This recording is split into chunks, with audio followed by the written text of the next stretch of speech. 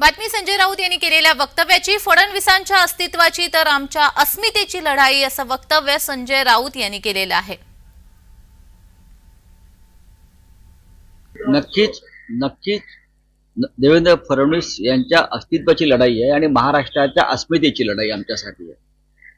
ते त्यांच्या अस्तित्वासाठी लढत आहेत कारण त्यांचं अस्तित्व गेल्या अडीच वर्षात देवेंद्रजींचं अस्तित्व पूर्णपणे संपवलेलं आहे.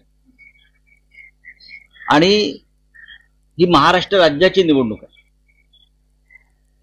आणि या राज्यामध्ये सगळं सुरळीत चाललेलं असताना फक्त भारतीय जनता पक्षाला आणि त्यांच्या बगल बच्चांना त्यांचा पराभव दिसतो आहे.